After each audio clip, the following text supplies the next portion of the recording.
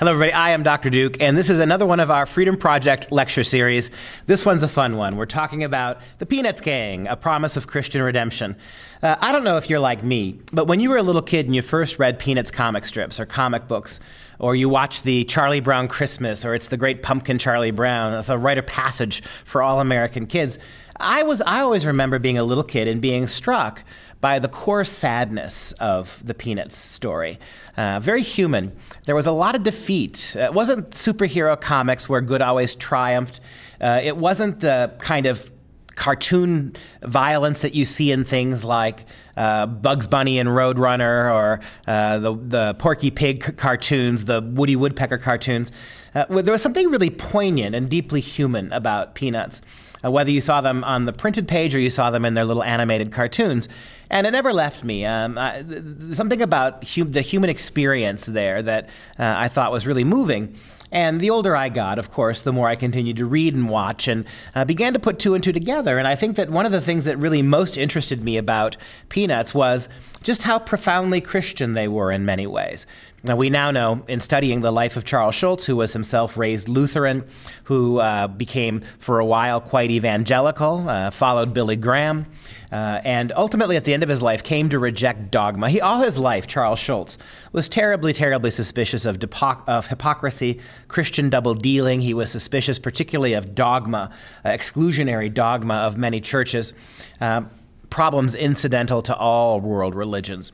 But he never did lose sight of the fundamental humanity of Christ, the, the mercy, the virtue. Uh, and in his peak comic book characters, he sort of recreates what it's like to live in a fallen world you have tremendous heartbreak. Think about Charlie Brown never getting to kiss that red haired girl, or never uh, getting the winning hit in the baseball game, or never being able to kick that football. You think about the, the heartbreak that the characters experience in the comic strip. Um, the consequence of people mistreating each other. Uh, Charlie Brown is the victim of, of terrible, terrible comments and insults from some of the other characters, uh, and yet he manages to endure. Uh, you in in the comics, the Peanuts comics, you have uh, this this fallen world misery. But it's also circumscribed with laughter. Uh, that over and above the moments of despair and sadness, you have great moments of ecstatic joy, of exuberance, of awe, of wonder, of faith. In, in this regards, and I don't think it's too fine a point, I don't think it's too close a comparison as an English professor, in many ways, the Peanuts comic strip, in my mind, monitors this, uh, mirrors the structure of Dante, the Divine Comedy, or the Canterbury Tales by Geoffrey Chaucer, where sadness and sorrow and weakness and sin abound, and yet the artist recognizes and circumscribes all of that with laughter and the promise of wonder and the hope of a better world. Who was Charlie Schulz, Charles Sparky Schulz?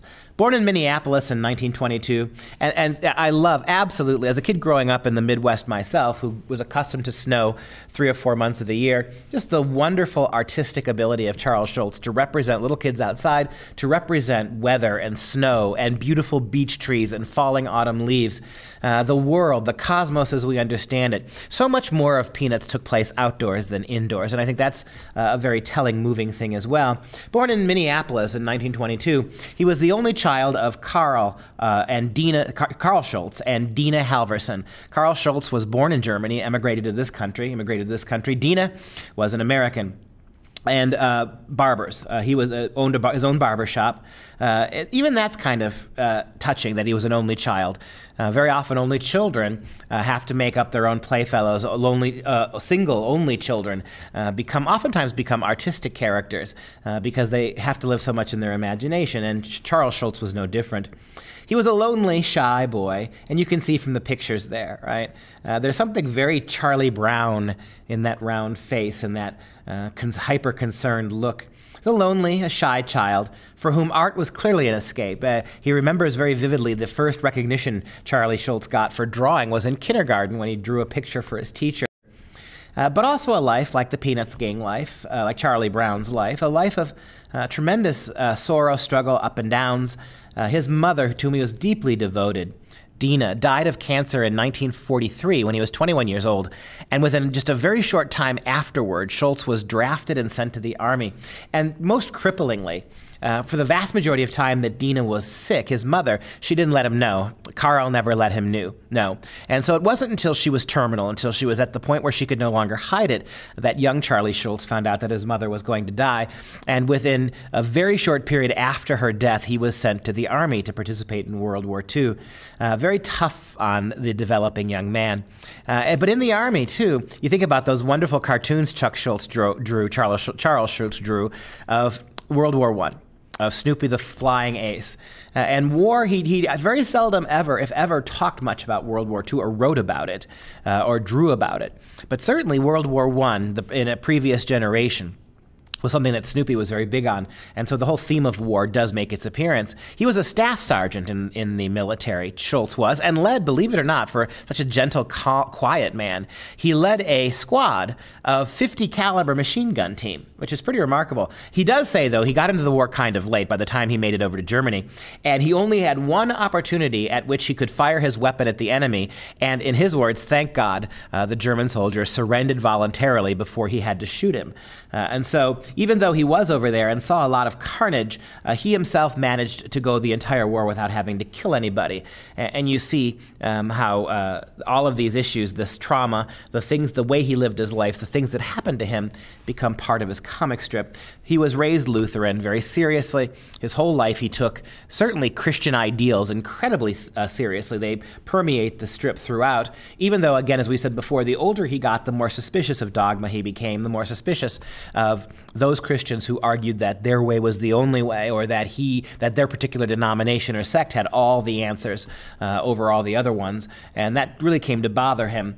Uh, the older he got, he didn't become disillusioned with Christ. He became disillusioned with organized religion, as so many thinkers had. Uh, but he comes back to it again and again in his themes. After the war, uh, Schulz lived with his father uh, above the family barber shop. Uh, he was nicknamed Sparky by an uncle after the horse Sparkplug in the old famous Barney Google comic strip. So even his nickname and his uh, early experiences come from reading the comics. Schulz said at one point that on Sunday afternoons there wasn't much to do in the 1930s during the Great Depression uh, in the middle of Minnesota. You think about that too, that besides World War II, uh, besides the death of his mother, he lived as a little boy through the Great Depression. And playing hockey, right, on the frozen, uh, easy enough to do, cheap enough to do on the frozen lakes of Minnesota, all 10,000 thousand of them, uh, playing hockey, reading the comic strips, and listening to the radio. You can imagine this young boy, lonely young boy, sad young boy, uh, shy, melancholy by demeanor, uh, living in the frozen tundra of Minneapolis, of, of Minnesota, uh, and very much drawn to those radio heroes and radio cartoon programs, radio serials, and then reading the comic strips, right? Little Abner, Barney Google, Pogo, uh, those seminal comic strips that this young boy would read in the paper every day uh, as he drew and drew and drew more himself. Uh, in fact, his first brush with fame, Charles Schulz, came as early as 1937 when he was 14 years old. Uh, as a boy, he had a black and white dog named Spike. In fact, he had a couple of black and white dogs, one that preceded Spike. Uh, but a black and white dog named Spike, who was a mixed breed, part beagle and part other. Uh, but he ate unusual things. This dog was a vacuum cleaner, kind of like a mountain goat. It would eat tacks and it would eat staples and it would eat nails, uh, among pretty much anything it could get its mouth around. And so unusual was the dog that Sparky Schulz, young Sparky Schulz, drew a picture of the dog and sent it off to Ripley's Believe It or Not. And there is the actual 1937 uh, image from the magazine. You can see the dog there at the bottom center. That's drawn by Sparky, it says. Uh, owned by, drawn by Sparky, and here's the little tag beneath it. A hunting dog that eats pins, tacks, screws, and even razor blades is owned by C.F. Schulz, St. Paul, Minnesota. CF was Carl, the father. Uh, Charles Schulz's middle name, Charles M. Schulz, was Monroe, Charles Monroe Schulz. But even at 14 years old, to get a drawing uh, published in Ripley's Believe It or Not magazine with his own little caption, uh, you could see how the percolating was going on in the boy. And pe- many people don't realize that before there was a Peanuts strip, there was a precursor strip to Peanuts, which was called Little Folks. Right, Little Folks. It was the very first strip that he wrote. Uh, and from 1947 to 1950, after he got out of the service, after the war ended, moved back to Minneapolis, lived with his father without their mom, above the barber shop where dad cut hair. In fact, Charlie Brown's character in the comic strip Peanuts was a barber as well. And so Little Folks ran from 1947 to 1950, and it was a focus was on little kids, but little kids who actually experienced really adult humor, really adult uh, uh, ideas. Schulz made it clear over the course of his career that he didn't consider this a little kid's strip. He didn't consider it aimed primarily or even mainly for little people, for kids. He, but he thought he recognized really early on, it was a brilliant revelation for him, uh, that you could put serious adult issues in the mouths of little children, and you could take that edge off. You could blunt the edge a little bit, particularly in a war torn world, post World War II, uh, entering the Cold War, where the promise of nuclear Armageddon was upon us, the idea that uh, the world was entering this post apocalyptic space age. Uh, the, the, the power of putting human experience into the mouths of these charmingly drawn little human kids uh, was, a, was quite a, a way of, I mentioned earlier, this ability to, to keep the core of human suffering and misery, but surround it uh, with joy and sorrow and wonder. And by placing these serious issues, sometimes in the mouths of very little children, Schulz was able to pull off uh, an immense tug on the, uh, the, emotional heartstrings. To see adults suffer, as the great uh, existentialist Fyodor Dostoevsky wrote, to see adults suffer was okay.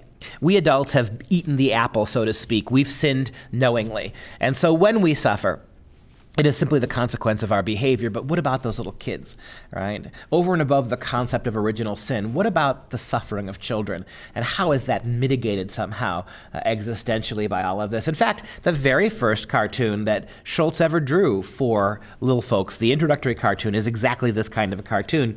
You have two little kids, right, sitting on the stoop uh, in uh, late 1940s America, when the economy was booming, when the baby boom generation were being conceived. So there were kids everywhere. Uh, suburbia uh, took off, right? Uh, all of these prefabricated houses went up that all looked alike. All these suburban neighborhoods opened up. And there you have two little kids, as was the wont, uh, sitting on a stoop. And along comes little round headed kid.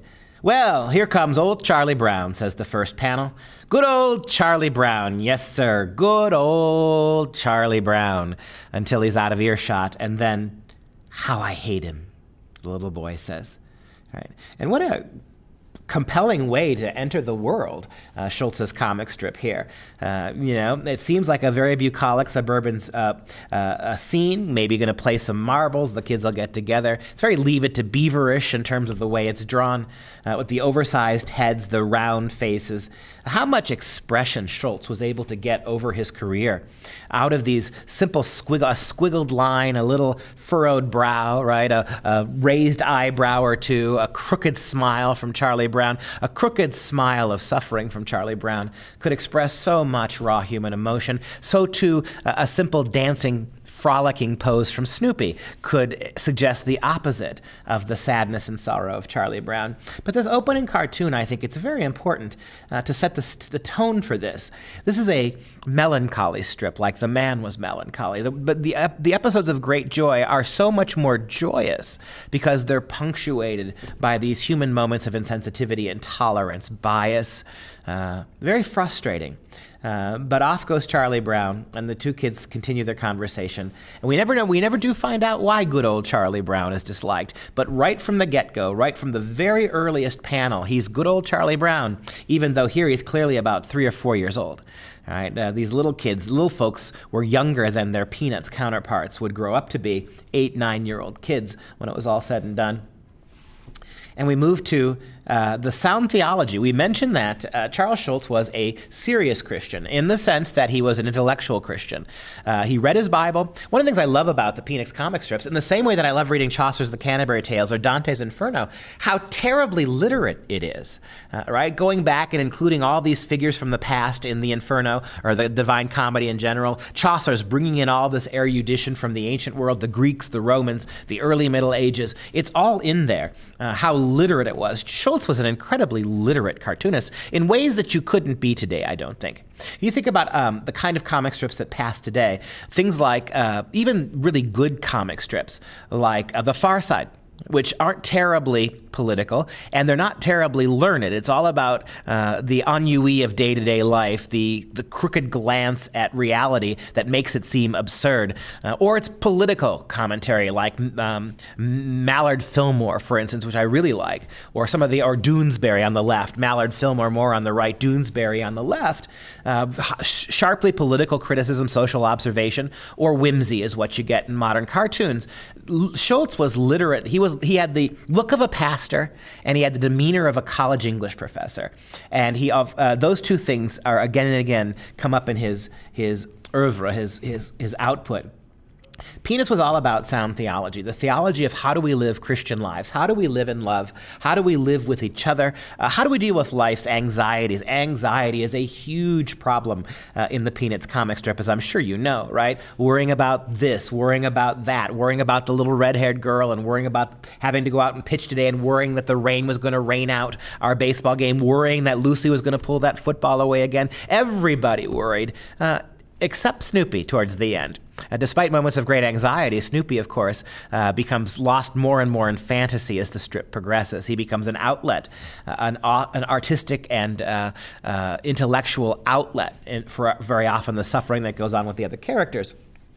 Schulz was raised in a Lutheran town by a primarily uh, raised a Lutheran in a primarily Catholic town, which he talked about a lot. He in 1957 Schulz actually saw Billy Graham's Crusade for Souls in New York City and just was sucked in, saw these huge crowds that turned out to see this charismatic young minister. And there are wonderful parallels between Billy Graham and Schulz tall, lean, fair haired men. Both knew how to attract and hold an audience. Both talked about the fundamental humanity at the core of human existence uh, and how much of that fundamental core of human nature was suffering.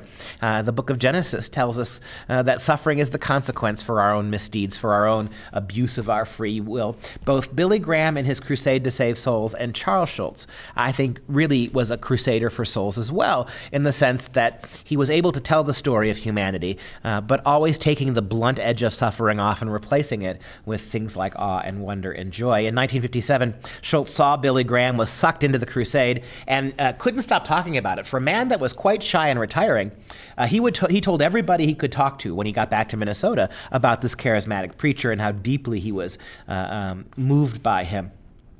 He was motivated primarily by the message of Christ in this. And as I said a couple of times already, Schulz, though, however, was deeply, deeply suspicious of dogma. He despised hypocrisy. Um, and, and like all good thinkers, he was harshest on his own. Uh, we mentioned Dostoevsky. There's a great line of Christian intellectuals, C.S. Lewis, who have plenty to say uh, about non Christian culture and its corruptions and its mistakes and its inhumanity. Uh, but they were also, these great Christian thinkers, really, really attuned uh, to and intolerant of, righteously intolerant of. Bigotry and insensitivity and uh, small mindedness within the sect of Christianity. Now, that's one of the hallmarks of all of these great writers, and it's particularly Dante, too, and Chaucer, I must add, uh, were also very much the same way. Uh, so, so here, too, you see this great little strip it's a rainy day, right? And there they are trapped inside. And that itself is a metaphor. I had mentioned that so many of the Peanuts comic strips, I haven't done any kind of an analysis. I'll bet you 70, 80, maybe even 85% of the Peanut strips, if not more, were situated outside, whether outside of Snoopy's doghouse or outside on the ball field or the football field or on the ice skating rink or in the schoolyard. Again and again and again, the outdoors were so important. Uh, and that's remarkable for a kid living in Minneapolis who would have been trapped inside a lot of the time. And so being in the house, being in the realm of the adults, and you know how wonderful it was that you never actually see the adults in any of his comic strips. You don't see the adults, you don't hear every now and then you'll hear them. There'll be a bubble speech coming at you, which when the the video, the animated shorts, Peanuts were made, wah wah wah wah, right? You couldn't even hear uh, the uh, the adults articulate what they were saying. They were so divorced from the experience of the little children. But here they are trapped inside. The rain's coming down uh, like bars on the window, right, to keep them inside and just how powerful these pen drawings were from Schulz. How much emotion, how much realism. Uh, the window frames, and some we have wonderful comics of of Charlie Brown and Linus standing outside on a starlit night as if they're two tiny little creatures in a vast universe. And then you can go to a window frame like this, where the only thing that seems to exist in the whole world are this brother and sister, Lucy and Linus. Boy, look at it Look at it rain, Lucy says. What if it floods the whole world? And Linus rep- responds, It will never do that. In the ninth chapter of Genesis, God promised Noah that he would never, it would never happen again, right? And the sign of this promise is the rainbow. Not only did God, it's biblical, right? We go back to the book of Genesis, we know. We know that these kinds of, this kind of destruction, the world will never be drowned again. Because God promised that. And the rainbow is God's symbol in the, sky to, in the sky to remind us of this. Right? Lucy says, You've taken a great load off my mind. And Linus responds, Sound theology has a way of doing that. That's a wonderful way to phrase it. If your theology is sound, if you know that Christ is the Savior, if you know that you're destined for glory, if you know that the sins of man have been redeemed, well, in the words of our, our own Lord and Savior, we, uh, why are you anxious? Why do you worry about these things, right? Um, over and over again, Christ said that, and that seems to be a message here. There's, some, there's comfort in that. If you know the fundamental tenets of Christianity, then however miserable or rain bound or unhappy or lovelorn or lacking in Valentine's or unable to kick that football your life may be, you know in the end you're going to laugh. You'll have the last laugh. Sound theology has a way of doing that for us. And I think you could make an argument that that Charles Schulz's uh, complete works from 1947, Little Folks, to 1950, 1950 till he died in the year 2000. 50 solid years of Peanuts comic strips over and above the little folks. You can make a really good argument that that is sound theology. That, as impressive as, in its own way, uh, like Thomas Aquinas or like Martin Luther or like John Wesley or like the great theologians of Western culture for the last 2,000 years. What he's doing here is he's expanding on the Gospels, but he's doing it with pictures. He's doing it in the guise of little children. He's doing it with simple brushstrokes and wonderfully wise, short, pithy commentary. This is a Bible commentary that we're getting with Schulz. And it's really quite beautiful because it emphasizes the humanity of God's interaction with men. But he wasn't afraid. I mentioned how he despised hypocrisy. He despised posers. He despised bigots. Uh, he despised those within his own religion who sought to, to uh, divide, not unite. Billy Graham was a great uniter. Billy Graham was a, somebody to reach out to people wherever they were in their lives and to offer them hope, to offer them participation in the bigger pageantry that is the Christian narrative that circumscribes pure material reality. And in that world, in that vein, Schulz was not in the least uh, hesitant to satirize, sometimes brutally, uh, a misplaced dogma. In the first of the two comments we, comics we have here on the left, do you ever pray, Lucy? He says to his sister as she jumps rope. And just look at how wonderful the rope drawing is, right? With simply by redoubling the, the line of the rope a few times, it, may, it makes it seem like motion is taking place even in a completely static frame, uh, the frame of the four panel strip. I mean, nobody, I think, has ever done more with a four panel strip than Schulz did in terms of being able to create depth. Uh, the way he draws grass, for instance, just the, the, the slightly slanted line, his beautiful trees, the open sky. Do you ever pray, Lucy? Linus asks his sister. She drops the rope. That's kind of a personal question, isn't it? Are you trying to start an argument? I suppose you think you're somebody pretty smart, don't you? I suppose you think, and then he cuts it off, dot, dot, dot, because we know uh, Lucy Van Pelt very well. And we know that she's going to go on and on and on about this. And so you cut to the final punch, and in these four panel, that's it. In a four panel strip, you have to lay out a premise, make an argument, and then you have to have that punchline, right? You have to have that payoff in the fourth strip, the fourth panel, and there it is. Uh, there's uh, Linus and Charlie Brown sitting on a stoop, and Linus is sucking his thumb. He's holding his security blanket, and he says, You're right. Religion is a very touchy subject, right? And this idea that we've banished religion from the public sphere, we've banished religion from polite conversation. And while there are advantages to that, there are also disadvantages. Uh, the, the vulnerability of Linus's initial question, do you ever pray, Lucy? It's, it's, the, it's the question of somebody who's anxious and unsure, somebody who wants reassurance and community. And Lucy comes right back at him, and she is the great materialist, isn't she?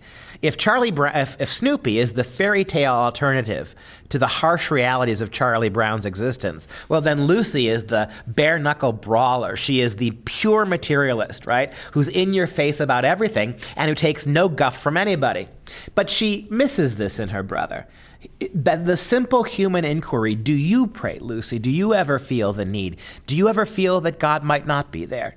And she just hammers him with the ACLU version of, of don't talk about this, can't talk about that, no way. His final comment You're right. Religion is a very touchy subject, right? But should it be? And the next panel, right, taking on the shibboleth issues of the day. Uh, this is a much la- larger Sunday panel. And there's Sally, little Sally, little hapless Sally Brown, baby sister of Charlie Brown, wearing, by the way, in the comic strip, the exact same dress that my little Sally doll on the front of the table is wearing. If we flip back to a second, there's Sally wearing exactly the same dress with exactly the same polka dots. But the car- cartoon strip, there she is walking, and she sees Charlie Brown, her brother, older brother, watching TV, and she says, Guess what? What? And she looks around. She looks around some more and she s- slips into the hallway to look beyond the door. And she, she, uh, in hushed tones, signals for her brother to follow her. And she looks again to make sure no one, and then she looks out the window to make sure no one's paying any attention. Then they crawl behind the couch. At which point she says to him in the payoff panel, We prayed in school today. We prayed in school today. My goodness. Can you imagine for a strip like this in the 1970s? Uh, what six or seven years removed, eight years removed from the uh, removal of prayer in the public schools, how in such short term the possibility of prayer in school has been so beaten down into these little kids. Uh, so this is the this is the flip side of that first cartoon, isn't it? That Linus reaches out to his own sister for a te- a, a, some sense of community in prayer, some sense that it's okay. Maybe they have different ways of praying. Maybe Lucy's prayers have been more or less effective, and she's radically su- shut down by her sister. Who do you think you are asking these questions of me? And meanwhile, little Sally Brown in the next strip, right, who uh, is so uh, bemused by the we could call them the politically correct police, even 50 years ago, how they had so effectively erased prayer from the schools that you have to go through all these beautiful motions. I love the way the TV is drawn. I love the picture on the wall. I love the door frames. I love uh, the plants growing underneath the windowsill. But the money's there when she puts her little hands on her face. We prayed in school today. What a way to handle from two radically different perspectives, right? The same issue. I title my next slide Evangelists and Pragmatists because uh, he was interested in both. He was a very pragmatic Christian, Schulz was. In a way, Schulz reminds me a lot of C.S. Lewis, who very much considered himself what he called a big C Christian. Right? Uh, he didn't associate with, particularly with any denomination. When he became a Christian, John, uh, Tolkien had a, uh, J.R.R. Tolkien and others in the Inklings group at Oxford University uh, had a lot of pull in pulling uh, Lewis away from his materialist atheism and into the fold of Christianity. But Lewis was very hesitant to join a denomination. Tolkien was pushing him to become a Catholic. He became an Anglican simply because it was the religion of England, where he was a citizen. But he always considered himself what he called a big C Christian. In other words, he believed the fundamental tenets of Christ, and the dogma mattered less to him. It didn't matter to him if your Christianity was packaged in Lutheranism or it was dressed up in Catholicism, right? Or it was wa- it was boiled down to baptism. Uh, it didn't matter to him. The, the fundamental truths of the incarnation uh, and the, the, the death and resurrection of Christ, those are things that we all as Christians have to believe. And that was where Lewis came down. And I'm absolutely convinced that was Schulz's opinion as well. But for an, there were times in his strip when he was evangelistic, uh, or his characters could be, but there were also times when they were highly pragmatic when it came to issues of faith. And these two cartoons sort of suggest both, both parts of, of Schulz's uh, artistic endeavor here. In the first, we see uh, the two kids, uh, and they're always leaving. I love how many, again, how many panels have kids leaving the inside to go outside, to uh, getting out. And here they are walking down the stoop, and there's uh, Sally and Linus heading off to school with their, ba- with their bags, their book bags, their lunch bags. And Sally says to Linus, I would have made a good evangelist. You know that kid who sits behind me at school? I convinced him that my religion is better than his religion. How'd you do that? Linus asks. I hit him with my lunchbox. Right? And you see the kind of wry payoff in the fourth panel, satirizing, of course, uh, the, the, the idea that the first true um, law of any religion ought to be humility humility before the God you serve. Uh, and that's sadly lacking. And of course, Sally's a comic character. Uh, whack on the lunchbox brought him to my point of view. And it's always the philosopher Linus that lags behind in these conversations.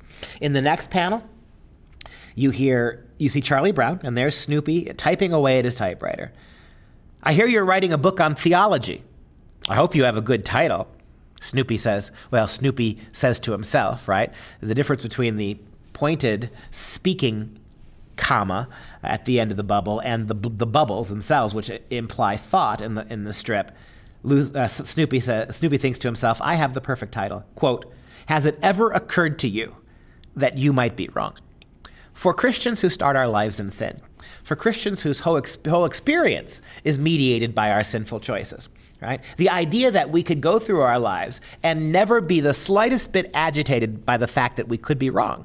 We could be wrong about our dogma. We could be wrong about the makeup of w- even our own Christianity uh, or our relationship to it or our relationship to others who, who are Christians. It's a great question to ask everybody, regardless of their faith perspective or regardless of their lack of a faith perspective. Uh, it's a question we're unwilling to ask uh, too often. Has it ever occurred to you that you might be wrong? I mean, being wrong and and asking the question are, the, are two different things, but there, it's an important distinction, isn't it? Has it ever, for how many of us, regardless of our religion, and particularly for those of us who are Christian, for how many of us has it never occurred to us that we could be wrong about fundamental aspects of our own faith, let alone the faiths of others? And so you have the pragmatist and you have the evangelist. And uh, for Schulz, very often the problem was never Christ. It's Christians. In the same way, uh, somebody once famously remarked that the problem with capitalism is capitalists. Uh, it's a great idea. Material capital is a great idea. It's brought greater wealth to more people than any other system of, of economics. Uh, when it goes wrong, it goes wrong not because the problem is with capitalism. The problem is with the capitalist who gets greedy. Um, and so in the case here, uh, the problem is not Christians for Schulz, Christianity for Schulz. It can be Christians. You have this wonderful panel, uh, and I absolutely notice how when he wants to convey these gorgeous snowscapes, there's no discernible line. You don't have a horizon line. You don't have uh, a, it's almost as if they're floating in air, which is a, a fantastic way to suggest that the snow is so deep and so thick, and it's coming down so vociferously uh, that those boundaries have been obliterated. And there you have in their, their warm beaver like caps, you have Shermy and Charlie Brown walking down the street. And they're all bundled up, and poor Snoopy is there with only the fur God gave him, shivering, right? That, that agonizing look on Snoopy's face, uh, that big round muzzle of his, no smile, the mouth's obliterated, that big nose, those big doleful eyes, and those sad brows, the ears tucked over in cold, and there he is shivering. Snoopy looks kind of cold, doesn't he? says Charlie Brown. I'll say he does, says Shermy. Maybe we better go over and comfort him. And they both surround the dog, right? And Shermy says, Be of good cheer, Snoopy. Yes, be of good cheer, says Charlie Brown. And off they go. Wow, what a satire. Christ is constantly saying, Be of good cheer to his disciples, right? You know me, you have me, Christ says. There is no reason ever again in the course of all human history for anybody to feel miserable the end is won, death is defeated. Faith alone now, faith alone in conjunction uh, with your own attitudes and behaviors, faith alone can be enough. Uh, my sacrifice is enough. So when Christ said, Be of good cheer, he always followed it up with a parable, with a miracle, with a healing, with a resurrection. So Christ's mercy, Christ's theology didn't stop with comforting words, it was always followed up by sacrifice. Here, Shermy and Charlie Brown, they get the first part right, but they don't get the second part right. They they hit G, uh, uh, Snoopy with the the platitude: "Be of good cheer, Snoopy." Yes, be of good cheer, but they don't take off their coat. They don't leave their hat behind with him. They don't bring the pup with them into the house. And there he sits to shiver as they walk off. This is a certain kind of Christianity, right? A certain kind of of, of thick headedness, uh, sinful unawareness, that platitudes are only useful when they're backed up with action, right? And so the faith and the act, and the whole debate about uh, faith and good works, it's absolutely meaningless for us here in this context uh, because Schulz rejected that, right? For Schulz, uh, to be a Christian and to act like a Christian had to be the same thing. To believe what a Christian believed and to try to live the life of a Christian, they had to go together. You couldn't separate them. And in the second comic strip, you see exactly the opposite. So Snoopy is not dejected. Snoopy is not cold. He's ecstatic. This is the wave of joy I mentioned to you. That uh, the the Peanuts comic strip it encapsulates horrifying, horrifying despair and loneliness and isolation and coldness, and deals with the savagery of human beings to each other and to animals like Snoopy. but in the second comic strip, you have an exultant Snoopy dancing, his ears in a horseshoe of joy, big smile on his face. That muzzle of his, no longer contracted into a round, punched in the face look, but expanded a pure smile that seems to run the whole length of his elongated face. Those feet going a mile a minute, almost literally walking on the air as the, the, the lines indicating his distance from the ground and his shadow, as if he is floating on air and the fuss budget of the comic strip, that punch in the face realist, Lucy, uh, the most vicious character in many ways in the whole strip, uh, despite her vulnerability. She starts screaming things at Snoopy floods, fire, and famine, doom, defeat, and despair. And nothing dampens the spirit of that dancing dog. I guess, she says, it's no use, sigh. Nothing seems to disturb him. And that's a big bother for her, right? It's a bother for her because in her materialist understanding of the universe, right, uh, there's too many, there's too much miserable stuff in the world to be happy. Nobody should ever be that happy and carefree. It's an affront to the realities of life to be that happy and carefree. How dare this beagle not recognize the suffering in the world and, most importantly, the suffering in Lucy's own little corner of it? The misery, uh, the fussiness, uh, all of the selfishness that causes her despair and so she can't disturb him, right? And it bothers her. There are really people like this, right? Who are I call them atheists many most of the time, right? The ones who can't stand to see a nativity scene on during Christmas week, who are so bothered by the phrase "Merry Christmas" that they get the ACLU involved if you even dare utter it, even at the holiday time.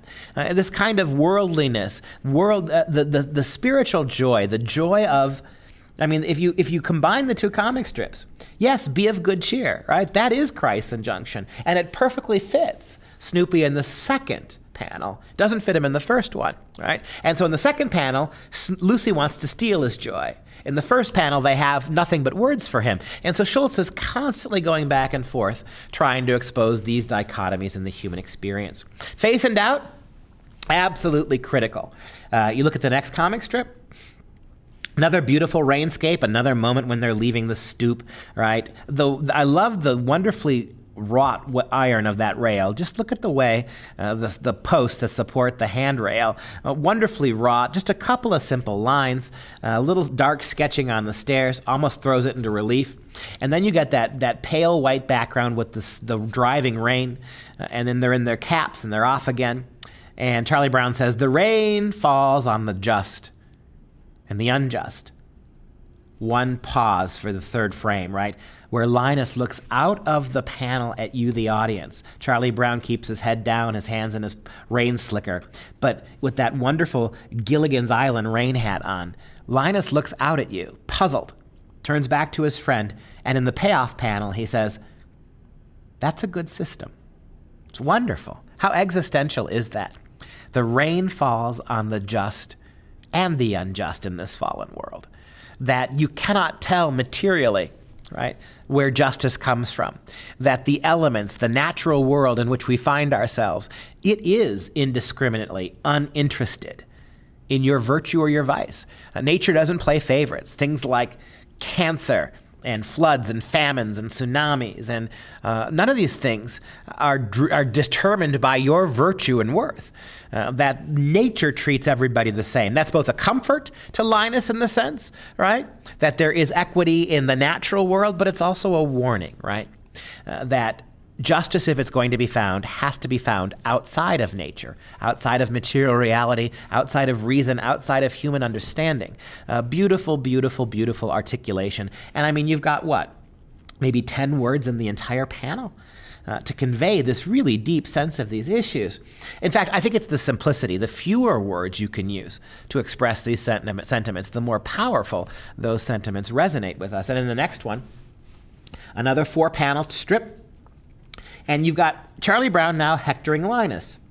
There he is from behind. You've got Linus's blanket, his, his security blanket dragging on the ground. And Charlie Brown says, So you think the world is getting better? Well, if you've got so much confidence in the world's getting better, how come you hang on to that blanket? And that beautiful moment where Linus, right, with that pretty round face, expressive eyes, looks down at his blanket in his hands, right?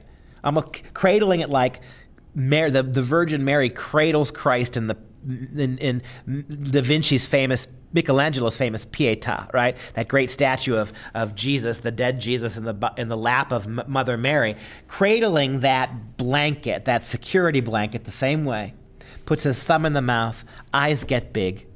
Touche, right? You got me. Uh, it's a remarkable thing that the same Linus who used his um, blanket as a security. Uh, tremend- despite all of his philosophy, his spirituality, Linus is the character more than anybody, anyone that quotes the Bible again and again and again in the Peanuts cartoons. And yet, for all of that, be of good cheer, do not fear, right? Uh, the, the rain falls on the just and the unjust. You still have this crippling anxiety that comes from being human, that all Linus's faith is indeed mediated by his humanity.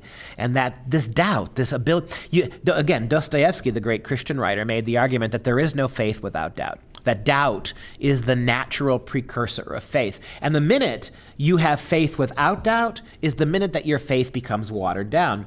And yet Schulz never lets you get there with a character like Linus. Touche, right? If you move to the next one, the light in the world, right? The light and the world, the light of the world. Some of my favorite, all time favorite Peanuts comic strips are the ones done at night uh, because Schulz does a wonderful job of capturing the mystery, the, the hush of darkness. Uh, in fact, some of the most religious or spiritual of the panels are the ones done at night, uh, precisely because he does such a good job of capturing that ethos. And there you have a dark night. And the way that candle, that one little candle, blazes in its little orbit, right? It doesn't, it does nothing to dispel the huge, vast darkness of the cosmos behind them. But it does cast light on his face, and it does cast light in the direction of Charlie Brown. And Charlie Brown says, What's this? And Linus says, I have heard that it is better to light a single candle than to curse the darkness. That's true, Charlie Brown says, although there are, will always be those who disagree with you. And in the fourth payoff panel, there's Lucy with her big mouth bigly opened, bigly exclaiming, You stupid darkness, right? So Lucy takes the time to curse the dark. Right? And so you see uh, the light in the world here. Uh, you have the materialist and you have the believer. And, and poor Charlie Brown is the everyman, stuck in the middle of those two, constantly in this in the strip. Charlie Brown is stuck between the materialist Lucy and the idealist uh, Linus. Uh, he is the everyman. He's us. Uh, we suffer. We don't understand it. We oftentimes find ourselves in ridiculous situations. We make fools of ourselves. We humiliate ourselves. Uh, and you've got the believer, the, ang- the anxious believer, and the uh, oblivious non believer as wonderful foils for Charlie Brown in the image. And one of my, uh, one of the, the neat ones here the light we looked at the if you look at the previous one it was the light in the world and we we carry that forward here. There's lucy in one of her fuss budget crab moments right? Leaning on a beautifully well drawn ottoman right? The weight of lucy in her dress uh, pushes down on the left side of the ottoman and she says phooey and linus says what's the matter my life is a drag. I'm completely fed up. I've never felt so low in my life. Linus says, When you're in a mood like this, you should try to think of things you have to be thankful for. In other words, count your blessings. Ha! That's a good one. I can count my blessings on one finger. I've never had anything and I will never have anything. I don't get half the breaks that other people do. Nothing ever goes right for me. And you talk about counting blessings. You talk about being thankful. What do I have to be thankful for? Linus's response well, for one thing, you have a little brother who loves you. And the money right there is just the, it's not the final panel, it's the way they look at each other. The way Linus looks at his sister, expecting to be socked in the jaw, because that's usually what she does. And that, that epiphany, that's what we call an epiphany, right? Lucy has an epiphany that his scriptural, biblical, Christian injunctions to her have actually silenced her. And in the final panel, she throws herself on his shoulders and she cries. And he says, Every now and then, I say the right thing. Light in the world. And here you have it again the biblical emphasis of our little Linus, our philosopher, our little theologian. He's walking to school for show and tell, and he's carrying a yoke, an actual yoke that would be worn by a cow or an ox. Good morning, Charlie Brown. Good morning. Do you mind if I ask you a question? What in the world is that? Linus says, This is a yoke. I'm going to use it for a special school report. I'm going to tell how the yoke is a symbol of subjection of one individual to another, as Esau to Jacob, Genesis 27:40. Then I'll tell how the yoke was sometimes placed literally on the neck of a person reduced to submission. My reference then will be Jeremiah 28:10. Then I'll tell of the yoke placed on Israel by Solomon and Rehoboam, 1 Kings 12:9, and wind up talking about the yoke of sin suggested in Lamentations 114 and the easy yoke of Matthew 11:29. I think that will cover it pretty well. And then that pause. Charlie Brown looking just astonished at the erudition, at the uh, incredibly um, thorough exposition of yokes in Scripture. And he turns to Linus, who's already walked out of the, the image, going on his merry way as if that's Linus's life. And he shouts at him, What about the yoke of inferiority you have given to me? Right? That's it. Those who have the truth oftentimes seem out of it. It seem like they are oblivious. Those who have the truth uh, oftentimes make those who don't feel bad. Uh, not intentionally very often, but it happens, right? That to be happy, to be in the moment, to be secure in what you believe, boy, does that make materialists really unhappy. And so, uh, if you look at my commentary, then on the left of the, the you, these two great quotes, one from Matthew 11, 29 and 30, Jesus said, For my yoke is easy and my burden is light. If you wear my yoke, if you submit to me, your burden will be light. And then from Galatians 5:1, St. Paul, Stand fast, therefore, in the liberty wherewith Christ hath made us free, and be not entangled again with the yoke of bondage. To be yoked to the world is to carry a burden. To be yoked to Christ is to be liberated. My will, my sacrifice. My love will set you free. My truth will set you free. Lay the burdens on me, Christ says. Two different scriptural interpretations that make exactly the same point. You can be freed by yoke and service to Christ. You can be you can have all the world and everything in it and still be bound uh, as a slave in bondage to materialism. One of my favorite verses from the Gospels, Matthew 6, chapter 21. Matthew chapter 6, verse 21. For where your treasure is, Christ says, there will your heart be also. Uh, where you place your faith, is where you will go. You'll follow. So if your faith is in the things of the world, riches and money, your heart will be a worldly heart. If your faith is in God, then your faith will be otherwise. And you have this wonderfully color Sunday comic where they're sitting on a beautiful bench in the middle. You can see how high the snow rises, almost to the bottom of the bench itself. The beautiful way that he suggests snow on the trees with just a few dabs of white ink, right, and that vast, beautiful Minneapolis, that Minnesota open countryside. Linus says, Let's see. Luke, the second chapter, the eighth verse. Quote, Linus says as they walk.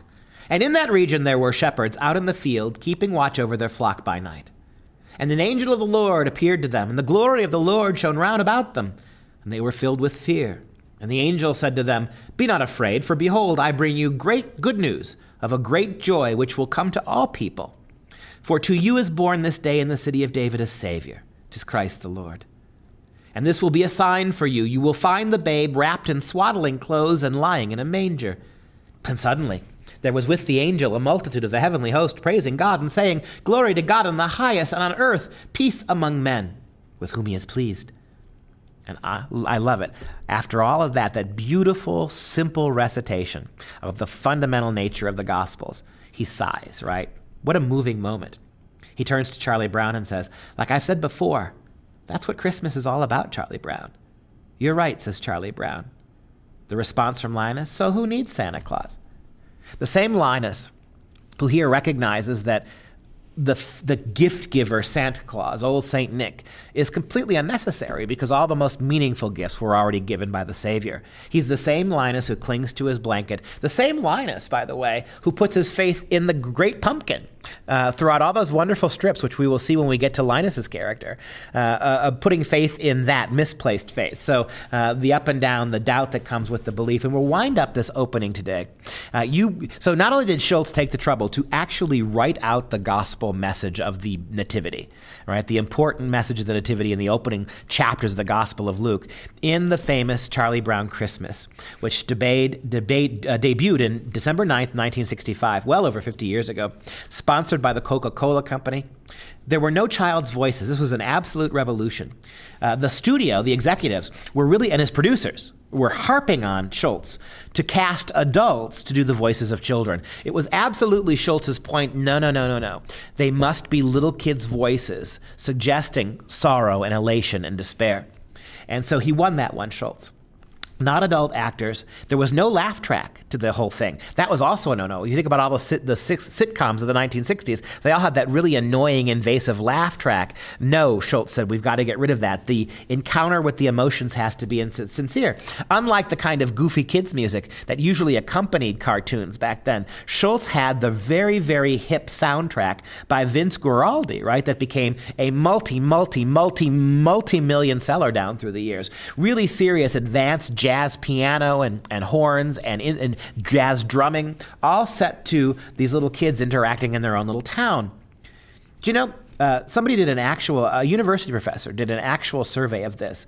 Less than 9%, 9 of all 60s era Christmas specials actually referenced the religious aspects of the Christmas story. So in the 1960s, back before belief had been completely stripped from the public schools, before uh, the expression of Christianity in the public square was condemned, back when most of America considered themselves ad- active Christians, and Christianity was the driving force in American public life. Even then, only 9% of the of the, the time devoted to 60s Christmas Christmas specials had anything to do with the Christian aspects of Christmas. It was reindeers, it was Rudolph, it was all that other Frosty the Snowman, but it wasn't Christ.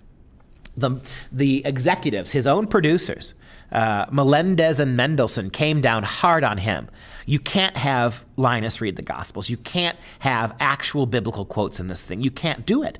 Uh, and his producers, the, the Coca Cola company, the studio executives all told him, You can't put that in. We can't let you put that in. It's going to offend people, it's going to turn people off. Schulz's response to that was, If we don't do it, who will? If we as Christians don't do it. Don't make the season about Christ. Then who's going to do it? Boy, and since this special, if 9% of the 60s specials talked about religion, what percentage of the modern ones do you think do? None of them do. Not one of them have much to say about the and that's what happens if we as christians don't stand up for what we believe in then what we believe in becomes marginalized and then persecuted if we don't put it in Schulz said who will and he was right it won an immediate, immediately won an Emmy Award, a Peabody Award. It's been played every year since to great acclaim. Uh, the DV people can't get enough of it. Right? It is a hallmark, a staple of the Christian season. And so Schulz was actually absolutely right. Let's take a look though at that moving moment. We'll end with we'll end with this. Isn't there anyone who knows what Christmas is all about? Sure, Charlie Brown. I can tell you what Christmas is all about.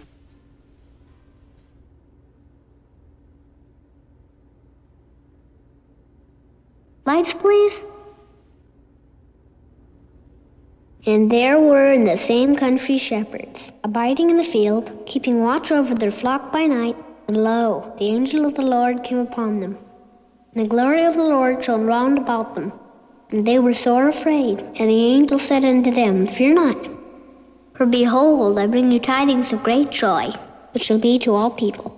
For unto you is born this day in the city of David a Savior which is Christ the Lord.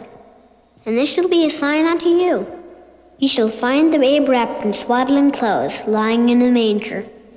And suddenly there was with the angel a multitude of the heavenly host praising God, and saying, Glory to God in the highest, and on earth peace, goodwill toward men.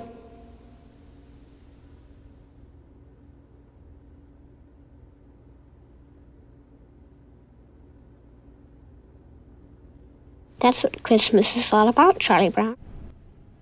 Man, what a wonderful moment. I mean, to me, that is the essence of the Christian themes, the, the Christianity that pervades the entire comic strip. Do you notice how when it started that clip, you were way in the back of the theater? This is a public school theater. This is a theater at their local public school. You notice up on the stage an American flag, as if that could be the case anymore. And at this flag, at, at this public school, they are putting on a Christian Christmas play. All the other characters you may remember, they're inventing dances, they're bringing in the Lucy wants to be the Christmas queen. They're completely little kids kids already have learned that they were secularizing the Christian holiday, so much so that it made Charlie Brown eminently depressed. It's about plastic trees and about Christmas queens and about pageants, but it's not about Jesus. And that moment when Linus stands up on that stage, and from way in the back of the theater, the camera zooms in on Linus, right? Just illuminated by a single spotlight and he recites those moving words, those eternal words, coming out of the mouth of a, of a, of a eight-year-old boy, seven-year-old boy, spoken by a seven-year-old boy with a little bit of a lisp too, right? A little bit of a speech impediment. Right? That, that's the joy, that's the thing about Christ's message. It isn't just available to the wise men.